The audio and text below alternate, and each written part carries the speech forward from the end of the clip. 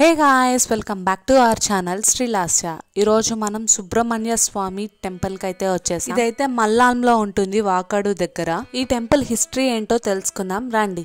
ఈ గుడి అయితే గూడూరు దగ్గర నుంచి నలభై ఆరు కిలోమీటర్ల దగ్గరలో అయితే ఉంటుంది. ఈ గుడిని పానీయ భూపతి అనే రాజు ఆరు వందల ముప్పై ఏడులో నిర్మించారు. తర్వాత చోలాస్ ఈ టెంపుల్ని రెనోవేట్ చేశారు. సుబ్రహ్మణ్య స్వామి ఈ ప్లేస్లో మల్లాసురుడా అనే రాక్షసుడిని చంపారని ఆ రాక్షసుడు స్వామివారిని వేడుకోగా ఈ ప్లేస్ మల్లాంగా ప్రసిద్ధి చెందింది.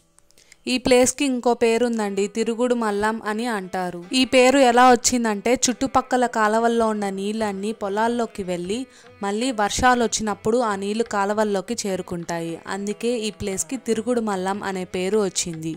రండి గాయస్ వెళ్ళి నటరాజ్ స్వామిని కూడా దర్శించుకొని వద్దాం. ఈ పిక్చర్లో కనిపిస్తుంది నటరాజ్ స్వామి గారు. హోప్ఫుల్లీ ఈ వీడియో మీకు నచ్చింది అనుకుంటున్నాను. నచ్చితే please do like share and subscribe to our channel video ఎలా ఉందో కామెంట్ సెక్షన్లో కామెంట్ చేయండి.